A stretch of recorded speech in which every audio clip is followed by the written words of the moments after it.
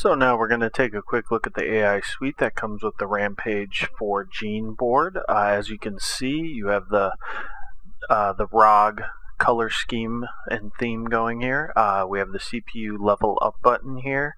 Uh, what that does is basically brings us to the Turbo Evo screen, but there is a separate tab here called CPU Level Up for auto overclocking, and they have three different steps. You got 3.9, 4.1, and 4.3 with this processor. And then you have your manual mode, which will give you all your basic functionality here. You got your B clock and your voltages. You can change your CPU ratio and your strap on the fly. Then we have our Digi Plus power control, which will let us control the CPU and RAM power here.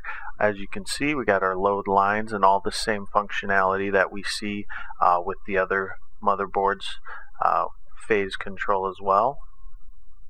And then DRAM power, we get the current capability of uh, slots A, B, and CD.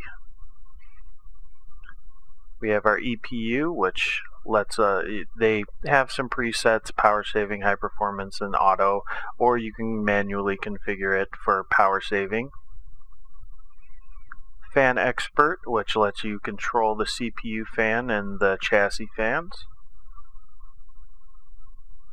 Got the Probe 2, which gives you alert pop-ups if anything comes out of the thresholds. Sensor recorder lets you real-time record the various sensors on the motherboard.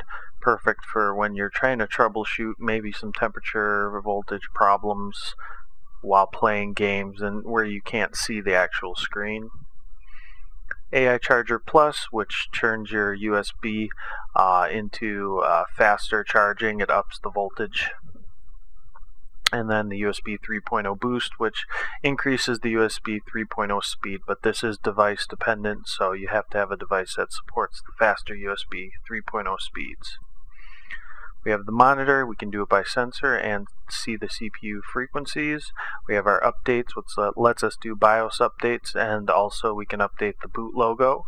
System info, which gives us our motherboard, information, CPU information, and then SPD on the RAM information.